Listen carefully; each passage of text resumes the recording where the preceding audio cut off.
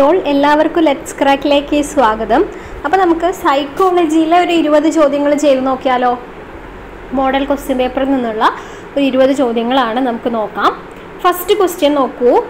സ്വത്ത് സാക്ഷാത്കാര സിദ്ധാന്തം ആവിഷ്കരിച്ച മനഃശാസ്ത്രജ്ഞൻ ആരാണ്? സ്വത്ത് സാക്ഷാത്കാരം.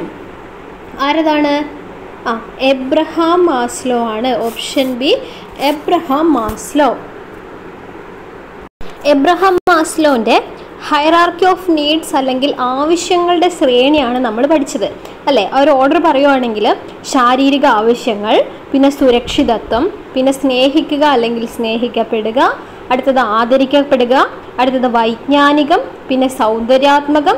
ഏറ്റവും അവസാനത്തെ ഏതാണ്? പഠിച്ചു വെക്കണം. ആത്മസാക്ഷാത്കാരം. അപ്പോൾ എബ്രഹാം മാസ്ലോന്റെയാണ് ആവശ്യങ്ങളുടെ ശ്രേണി. ഓക്കെ സ്വത്ത് സാക്ഷാത്കാരം അല്ലെങ്കിൽ ആത്മസാക്ഷാത്കാരം. ഓക്കെ അടുത്ത ചോദ്യം. സോറി എൺപത്തി രണ്ടാമത്തെ ചോദ്യം. ഫ്രോയിഡിന്റെ അഭിപ്രായത്തിൽ വ്യക്തിത്വത്തിന് മൂന്ന് തലങ്ങളുണ്ട്. അവയിൽ ഒന്നാണ് ഇത് ഇത് പ്രവർത്തിക്കുന്നത് എന്തിന്റെ അടിസ്ഥാനത്തിലാണ് ചോദ്യം.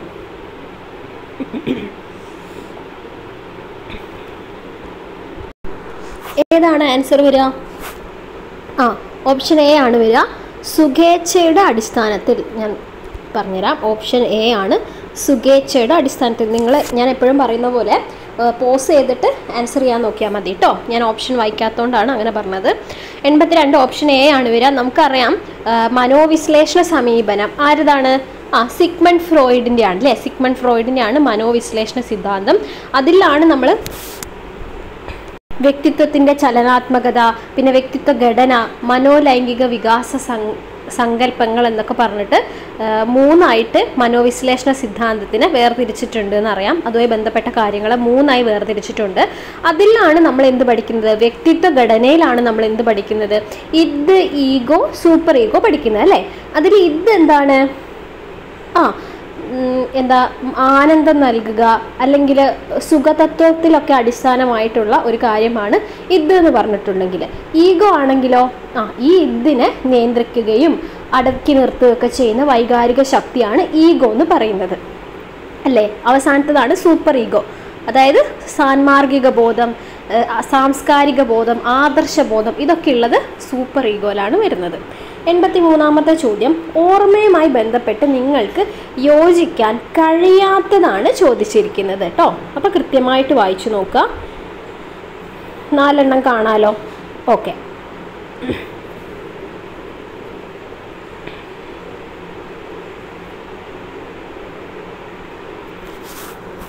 ഏതാണ് ആൻസർ വരുന്നത്? ആ അത് വായിച്ചാൽ തന്നെ നമുക്ക് മനസ്സിലാവും. കോമൺ സെൻസ് ഉപയോഗിക്കേണ്ട ക്വസ്റ്റ്യൻ ആണ്. കാണാപ്പാഠം പഠിക്കുന്നത് ഹ്രസ്വകാല ഓർമ്മകളേക്കാൾ ദീർഘകാല ഓർമ്മകളിൽ സൂക്ഷിക്കുന്നതിന് പര്യാപ്തമാണ് എന്ന് പറഞ്ഞു കഴിഞ്ഞാൽ എന്താണ്? തെറ്റായിട്ടുള്ള ഒരു കാര്യമാണ്. അപ്പോൾ നമ്മുടെ ആൻസർ വരുന്നത് ഓപ്ഷൻ ബി ആണ്. ഓർമ്മയുമായിട്ട് ബന്ധപ്പെട്ട് നമുക്ക് യോജിക്കാൻ കഴിയാത്തത് ഏതെന്ന് ചോദിച്ചാൽ ഓപ്ഷൻ ബി വരും. ബാക്കിയുള്ളതൊന്ന് വായിച്ചു നോക്കാം. കുട്ടികൾക്ക് വസ്തുതകൾ ഓർത്തെടുക്കാനും പ്രയോഗിക്കാനും കഴിയുന്നത് മനസ്സിലാക്കി പഠിക്കുമ്പോഴാണ്. ശരിയാണ്.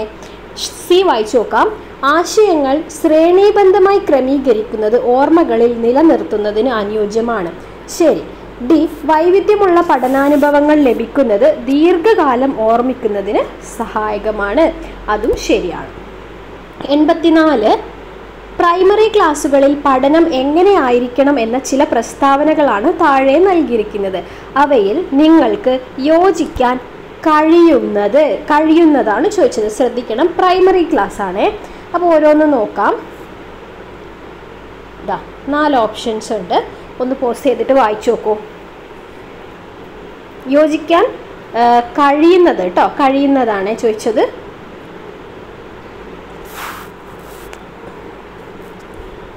ആ ഏത് വരും എന്നറിയോ ഓപ്ഷൻ ഡി വരും. നിങ്ങൾ എപ്പോഴും ചിന്തിക്കേണ്ടത് ഏറ്റവും അനുയോജ്യമായിട്ടുള്ളത് തിരഞ്ഞെടുക്കുക എന്നുള്ളത് വായിച്ചപ്പം ചിലപ്പോൾ വേറെ ഏതെങ്കിലുമൊക്കെ തോന്നിയിട്ടുണ്ടാവും. നമുക്ക് ഏറ്റവും സ്യൂട്ടബിൾ ആയിട്ടുള്ള ആൻസർ ആണ് വരേണ്ടത്. അതുകൊണ്ട് തന്നെ എൺപത്തി നാലാമത്തെ ചോദ്യം അല്ലേ? ആ എൺപത്തി നാലാമത്തെ ചോദ്യം ഓപ്ഷൻ ഡി ആണ് വരിക. കുട്ടിയുടെ അന്വേഷണത്തിനും ചിന്തയ്ക്കും പ്രാധാന്യമുള്ള പഠന പ്രവർത്തനങ്ങൾ നൽകണം. ഓക്കെ എൺപത്തി അഞ്ച് സാമൂഹിക പഠനം എന്ന സിദ്ധാന്തം ആവിഷ്കരിച്ച മനഃശാസ്ത്രജ്ഞൻ ശ്രദ്ധിക്കണം. സാമൂഹിക പഠനമാണ് ചോദിച്ചത്.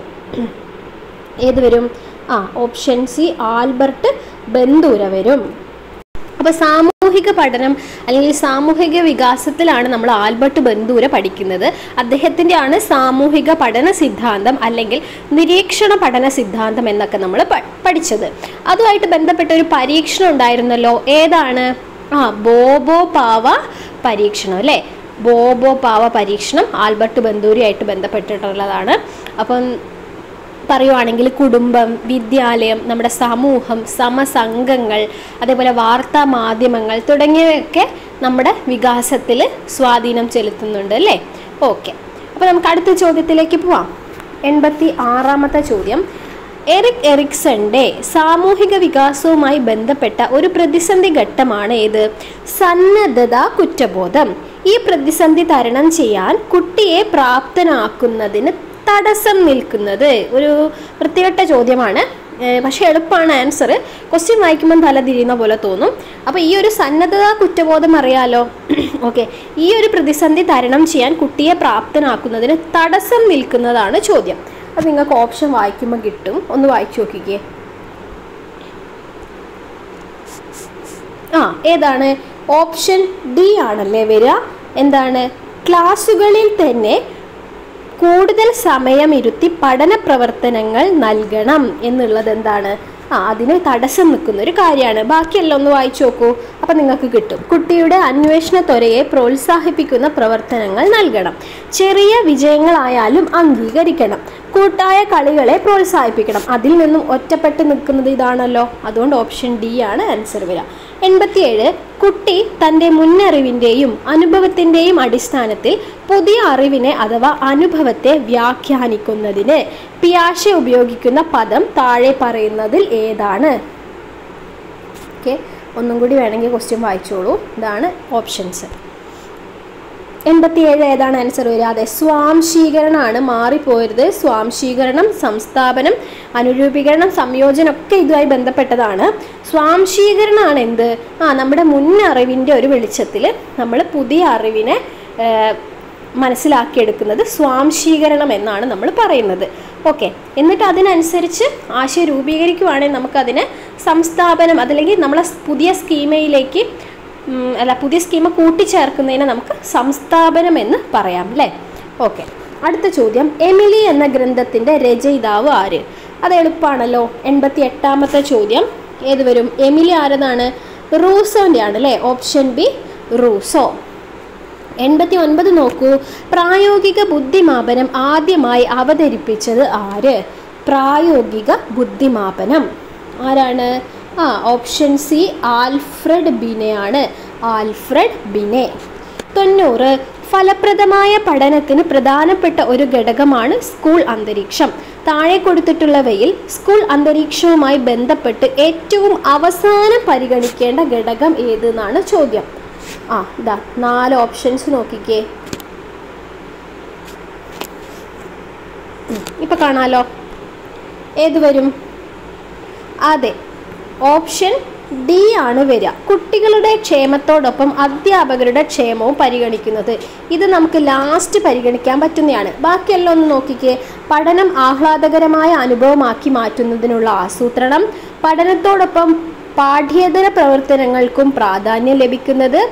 കുട്ടികളോട് അനുതാപവും വ്യക്തിബന്ധവും സൂക്ഷിക്കുന്ന അധ്യാപകർ. ഇതൊക്കെ നമുക്ക് അതുമായി ബന്ധപ്പെട്ടതാണ്. അപ്പം നമ്മുടെ ചോദ്യം എന്തായിരുന്നു? ആ സ്കൂൾ അന്തരീക്ഷത്തെക്കുറിച്ച് പറയുമ്പം അതുമായി ബന്ധപ്പെട്ട് ഏറ്റവും അവസാനം നമ്മൾ പരിഗണിക്കേണ്ട ഘടകം ഏത് തന്നെയാണ് ഓപ്ഷൻ ഡി ആണ് വരിക അല്ലേ? കുട്ടികളുടെ ക്ഷേമത്തോടൊപ്പം അധ്യാപകരുടെ ക്ഷേമവും പരിഗണിക്കുക തൊണ്ണൂറ്റി ഒന്നാമത്തെ ചോദ്യം എളുപ്പമാണ്. ബഹുമുഖ ബുദ്ധി സിദ്ധാന്തം രൂപപ്പെടുത്തിയ മനഃശാസ്ത്രജ്ഞൻ ആരാണ്? ബഹുമുഖ ബുദ്ധി സിദ്ധാന്തം. അതെ ആരാണ്? ഓപ്ഷൻ സി ഹൊവാർഡ് ഗാർഡ്നറിന്റെതാണ് ബഹുമുഖ ബുദ്ധി സിദ്ധാന്തം. തൊണ്ണൂറ്റി രണ്ട് ആശയ രൂപീകരണവുമായി ബന്ധപ്പെട്ട് നിങ്ങൾക്ക് യോജിക്കാൻ കഴിയാത്തത് ഏതെന്നാണ് ആശയ രൂപീകരണവുമായി ബന്ധപ്പെട്ടിട്ട്. മൊത്തത്തിൽ കാണാൻ പറ്റുന്നുണ്ടോ? ഓക്കെ. ഇനി മുഴുവൻ വായിക്കാലോ? വായിച്ചു നോക്കൂ. ആശയ രൂപീകരണവുമായിട്ട് ഏതാണ് വരിക? യോജിക്കാൻ കഴിയാത്തതാണ്. അതുകൊണ്ട് ഏത് വരും? ഓപ്ഷൻ എ വരും അല്ലേ ഓരോന്ന് വായിച്ചു നോക്കാം. അനുയോജ്യമായ ഉദാഹരണങ്ങളോടൊപ്പം അനുയോജ്യമല്ലാത്ത ഉദാഹരണങ്ങൾ നൽകുന്നത് ആശയ രൂപീകരണത്തിന് തടസ്സം സൃഷ്ടിക്കും. ഓക്കെ? ബി നോക്കൂ. നൽകുന്ന ആശയങ്ങൾ വ്യക്തവും മൂർത്തവുമായ ഉദാഹരണങ്ങളോട് കൂടിയതായിരിക്കണം. ഓക്കെ? സി പഠിച്ച ആശയങ്ങൾ പുതിയ സാഹചര്യത്തിൽ പ്രയോഗിക്കാനുള്ള സന്ദർഭങ്ങൾ ഒരുക്കണം. അതും ഓക്കെ. പുതിയ ആശയങ്ങളെ കുട്ടികൾക്ക് അറിയാവുന്ന സമാനമായ മുൻ ആശയവുമായി ബന്ധിപ്പിക്കാൻ കഴിയണം. അപ്പോൾ ഇതിൽ നിന്നൊക്കെ വേറിട്ട് നിൽക്കുന്നത് ഏതന്നെയാണ്? ഓപ്ഷൻ എ തന്നെയാണ്. ഓക്കെ ഇനി തൊണ്ണൂറ്റി മൂന്ന് മനുഷ്യൻ ജനിക്കുന്നത് ഭാഷാ പഠന സംവിധാനത്തോടെ ആണ് എന്ന് പറഞ്ഞ ഭാഷാ ശാസ്ത്രജ്ഞൻ ആരാണ്? ആ ആരാണ്? നോം ചോംസ്കി ആണ് അല്ലേ? Noam Chomsky. ഓക്കെ തൊണ്ണൂറ്റിനാല്.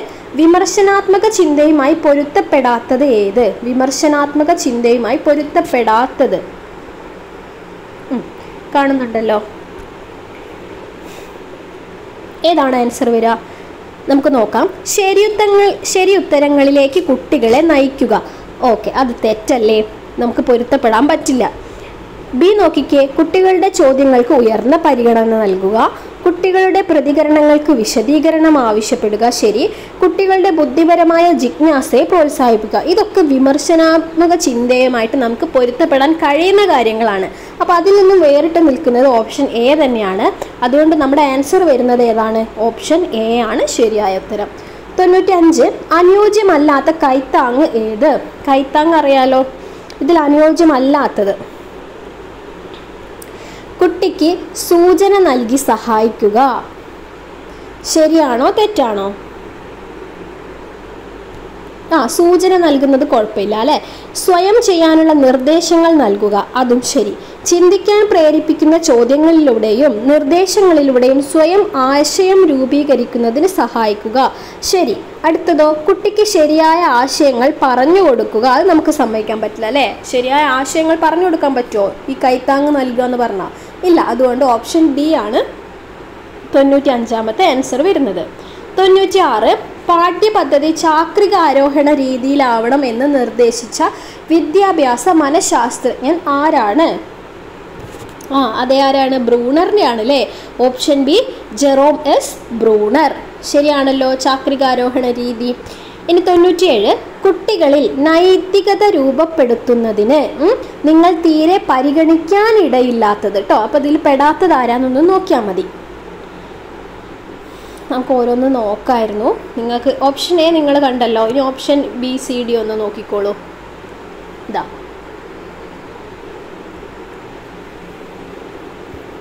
ഓക്കെ ഏതാണ് ആൻസർ വരുന്നത്?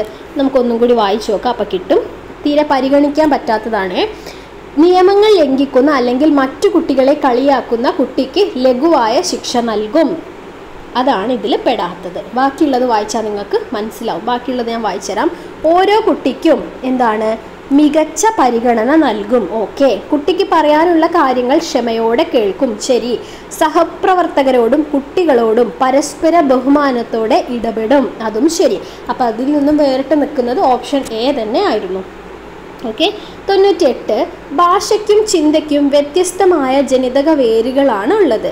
രണ്ടും വികാസം പ്രാപിക്കുന്നത് വ്യത്യസ്ത വഴികളിലൂടെയും സ്വതന്ത്രവുമായിട്ടാണ്. ഭാഷാ വികാസത്തെക്കുറിച്ചുള്ള ഈ കണ്ടെത്തലുകൾ ആരുടേതാണ്? നല്ലൊരു ചോദ്യമാണ് ആരാണ്? അതെ വൈഗോഡ്സ്കി ആണല്ലേ പറഞ്ഞത് അങ്ങനെ? വൈഗോഡ്സ്കി. ഓക്കെ തൊണ്ണൂറ്റി ഒൻപത് സമായോജന തന്ത്രങ്ങളിൽ ഒന്നാണ് ഇത് പ്രക്ഷേപണം. ഈ സമായോജന തന്ത്രം അധികവും വരുന്നതാണ് അല്ലേ? പ്രക്ഷേപണം. ഇതുമായി ബന്ധപ്പെട്ടത് ഏതെന്നാണ്? അതായത് യോജിക്കുന്നത് ഏതെന്നാണ് ചോദ്യം. ഓക്കെ? നാല് ഓപ്ഷൻസ് ഇതാ.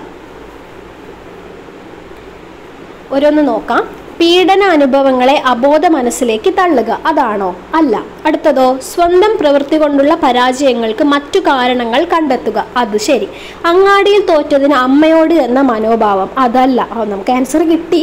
എന്നാലും അടുത്ത വായിച്ചു നോക്കുകയാണ് കിട്ടാത്ത മുന്തിരി പുളിക്കും. അതൊന്നുമല്ല. നമ്മുടെ ആൻസർ ഏതാണ്? ഓപ്ഷൻ ബി ആണ്. ഈ സമായോജന തന്ത്രങ്ങളൊക്കെ നമ്മൾ പല വീഡിയോസിലായിട്ട് പറഞ്ഞു വന്നതാണേ. ഇനി നൂറാമത്തെ. ഏത് തരം വിലയിരുത്തലിലാണ് അതീത ചിന്തയുടെ സാധ്യതകൾ ഉള്ളത്? അതീത ചിന്ത.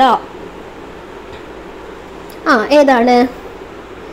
വിലയിരുത്തൽ തന്നെ പഠനം. ഈ മൂന്നൊന്ന് നിങ്ങൾ ഉറപ്പ് വരുത്തണം കേട്ടോ. ഈ സാധനങ്ങൾ കൃത്യമായിട്ട് പഠിച്ചിരിക്കണേ. ഏത്? Assessment of learning assessment for learning assessment as learning എന്നൊക്കെ പറഞ്ഞിട്ടുള്ള ആ ഒരു കാര്യം ഒന്ന് പക്കയാക്കിയിട്ട് വെക്കണം മാറിപ്പോരുത് ഓക്കെ അപ്പോൾ നമ്മൾ നൂറ് ചോദ്യങ്ങളും ഡിസ്കസ് ചെയ്ത് കഴിഞ്ഞു. ഞാൻ എനിക്കറിയാം ഞാൻ ക്വസ്റ്റ്യൻ ആൻസേഴ്സ് പറഞ്ഞിട്ടേ ഉള്ളൂ. കൂടുതലൊന്നും എക്സ്പ്ലെയിൻ ചെയ്തിട്ടില്ല എന്നറിയാം നമുക്ക് പറ്റുവാണെങ്കിൽ ഇനി അങ്ങോട്ട് ഒരുപാട് ചോദ്യങ്ങൾ ചെയ്യാൻ ശ്രമിക്കാം കേട്ടോ അപ്പം എല്ലാവർക്കും സമയം തുല്യമാണ് അല്ലേ നിങ്ങൾക്കും എനിക്കും ഒക്കെ തന്നെ. അതുകൊണ്ട് തന്നെ ഒരുപാട് എഫേർട്ട് എടുക്കാൻ കഴിയുന്നില്ല വീഡിയോസ് ചെയ്യാൻ വേണ്ടിയിട്ട്. അപ്പോൾ എന്തായാലും ചെയ്യുന്ന വീഡിയോസ് എല്ലാവരും നന്നായിട്ട് ഉപയോഗപ്പെടുത്തുക. പറ്റുന്ന ക്വസ്റ്റ്യൻസൊക്കെ നിങ്ങൾക്ക് കൊണ്ടുവരാം കേട്ടോ ഓക്കെ അപ്പോൾ ഓൾ ദ ബെസ്റ്റ്